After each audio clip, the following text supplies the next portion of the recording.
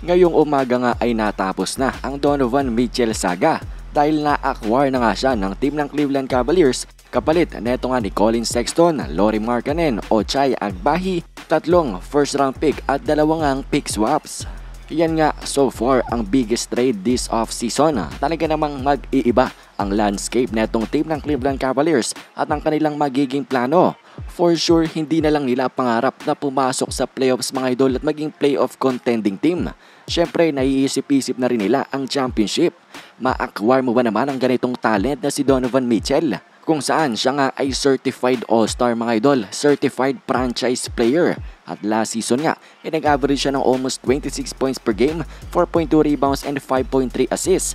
Tapos dagdagan pa nga yan ng complementary player na si Darius Garland na nag-average nga ng 21.7 points per game and 8.6 assists.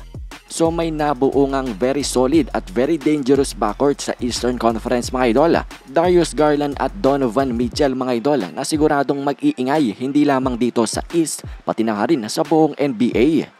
Kaya naman for sure, hindi lamang ang mga Cavs fans ang excited na mapanood ang duwong ito. Pati na nga rin ang mga NBA fans na kagaya ko ay excited ma-witness ano ba ang pwedeng gawin at kayang gawin na itong bagong team ng Cleveland Cavaliers. Pero ngayong napag-usapan natin ang team ng Cleveland Cavaliers ay ngayon naman ay pagtunan natin ng pansin ang team ng Utah Jazz. Dahil grabe nga ang nakuha nilang kapalit sa kanilang dalawang player na si Donovan Mitchell at Rudy Gobert. Well, nakuha lang naman nila ito nga si Colin Sexton, Malik Beasley, Leandro Bolmaro, Ochai Agbahi, Walker Kessler, Jared Vanderbilt, Lori Markkanen, THT at Stanley Johnson na naging kapalit ni Patrick Beverly na nakuha nga nila via Rudy Gobert trade. Nakuha rin nila ang kanilang gusto na 7 first round picks at tatlong first round pick swaps. At alam nyo ba, sa susunod na pitong NBA draft nga, ang team ng Utah Jazz ay meron lang namang 15 first round pick doon. So big kudos nga dito kay Danny Ainge dahil mga idol, grabe nga set na ang team ng Utah Jazz for the next 5 years at ready ready na nga silang mag-rebuild.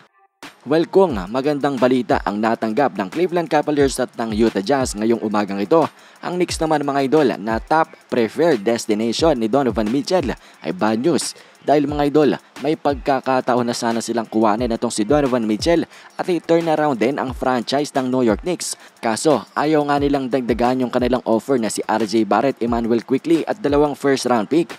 Sabi nga neto ni Shams Saranya na gusto nga sana ng tatlo na first round pick netong Utah Jazz pati na nga rin isang young player pa nila na si Quentin Grimes tapos mga pick swaps nga daw at tapos na yung deal na yon papayag o oo na nga daw ang team ng Utah Jazz na i-trade itong si Donovan Mitchell sa team ng New York Knicks. Kaso mga idol, sinayang nga nila ang pagkakataon. Mas pinili nga nila yung mga bata nilang player ngayon, ang kanilang mga possible future first round pick, kaysa nga manalo na at mag-contend ngayon.